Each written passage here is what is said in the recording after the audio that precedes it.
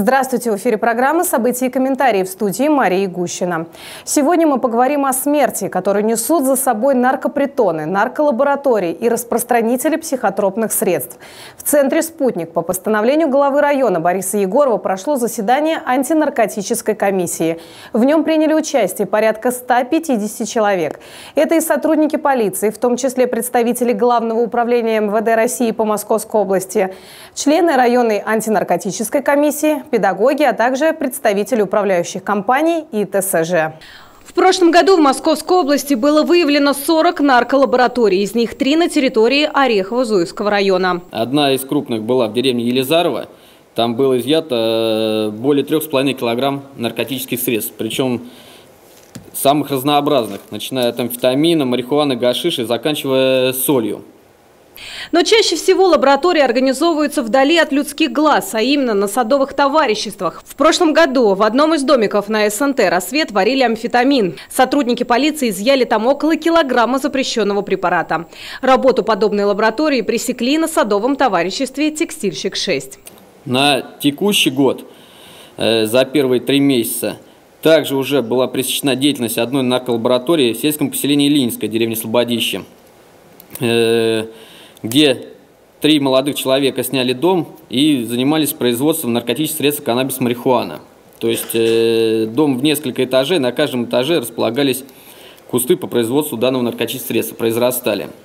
Вот эта лаборатория, которую открыли в арендованном частном доме. Злоумышленники оборудовали его под подпольную лабораторию по незаконному культивированию растений. Приобрели тепловые лампы, вентиляторы, семена растений, удобрения и специальное оборудование для создания парника.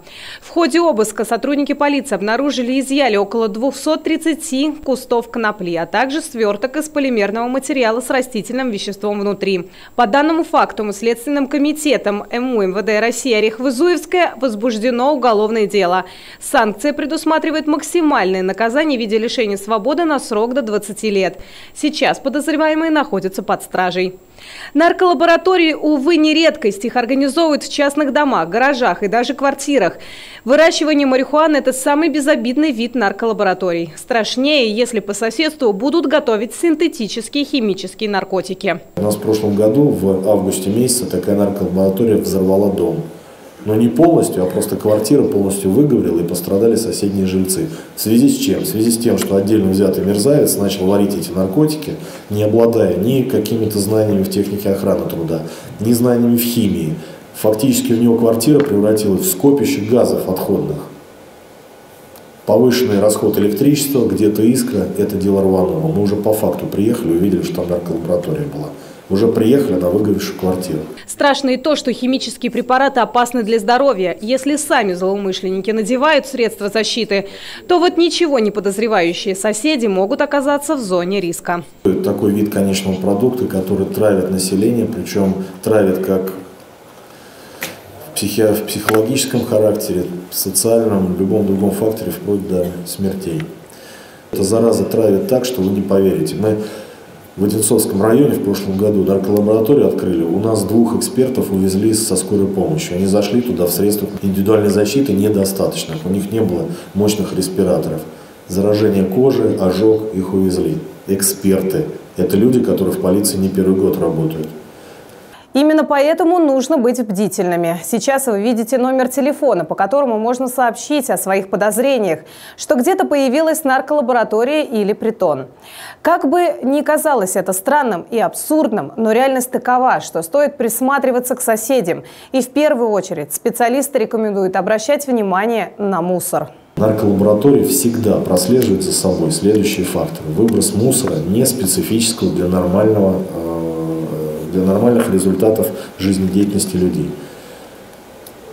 Химическая тара, различные колбы, куски тряпок, химические какие-то э, средства индивидуальной защиты противохимические, то бишь перчатки, могут быть куски масок, э, может быть пропитанный химическим запахом одежды. И большое количество пустых бутылок из-под водки. Ну, опять же, если у вас в дом заселились алкаши, сколько они могут в день выпить? Ну, 5-7 бутылок выкинут, это, это просто если дом вообще в угаре. Но здесь идут пустые бутылки ящиками, потому что водка им нужна для химического синтеза. У нарколабораторий несколько признаков. Как правило, злоумышленники выбирают дома в тихих районах на отшибе. Жилье снимают, с соседями на контакт особо не идут. Ведут отшельнический образ жизни. Но у всех нарколабораторий есть общие черты. Это, как правило, открытые форточки, либо труба, из которой тянется химический запах. Если это квартира, то химический запах еще легче вы услышите. По запаху, либо по стояку, либо в значит, близлежащих каких-то да, местах, то бишь, может быть, лестничная площадка. Если это гараж, соответственно, тоже вытяжка. Сотрудники полиции рекомендуют управляющим компаниям и председателям ТСЖ внимательнее следить за домами, так как лаборатория потребляет значительно больше ресурсов, чем обычные жильцы. Уважаемые председатели ТСЖ, к вам стекаются данные по расходованию электричества и воды. Если в жилом секторе города, то, как правило, мы смотрим по, э, значит, по показаниям соответствующих уполномоченных органов власти. Но в ТСЖ только вы являетесь конечным, так сказать, ну, каким-то сборным пунктом отчетности, который приносят э, вот эти вот люди. Повышенный расход электричества, у нарколабораторий в 100% случаях это прослеживается. Причем не на сколько-то, а в разы, то бишь в 5-10 раз как минимум. Жизнь соседям портит и наркопритоны. Это тоже своего рода бизнес. В прошлом году в деревне Демихова двое молодых людей решили зарабатывать деньги на зависимости людей. Два молодых человека э, организовали наркопритон все в квартире. За денежные средства пускали к себе потребителей и там э, позволяли им употреблять наркотические средства. Определить, что по соседству с вами организовали наркопритон, несложно. Во-первых, сразу видно, какой контингент приходит в гости. Во-вторых, в угаре люди явно забывают о чистоте и порядке, поэтому под окнами часто можно обнаружить шприцы. Может быть и в квартире, может быть в доме, может быть даже в отдельно взятой комнате квартиры. Может быть, я не знаю, в гараже, может быть даже просто на открытой местности. Скоро вот места наступят, мы такого рода тоже выявляли, когда на открытой местности вдруг наркоманы свой наркопритон устраивали. Еще один вид наркопреступления – это так называемые закладки. Дельцы уже давно напрямую не контактируют со своими покупателями. Наркотики передаются посреднику, который прячет посылку. Оплата производится дистанционно через онлайн-банкинг, после чего покупателю сообщаются координаты закладки. Люди непонятной внешности в непонятных местах вдруг начинают рыться. Вот это вот самый главный признак. Увидели, подходить не надо. Подняли трубку и сообщили. Там-то, там-то, скорее всего, происходит закладка наркотиков. Опять же, если есть возможность, сотрудники выйдут немедленно и будут стоять ждать и смотреть, кто из этой закладки что будет забирать, и отработают его.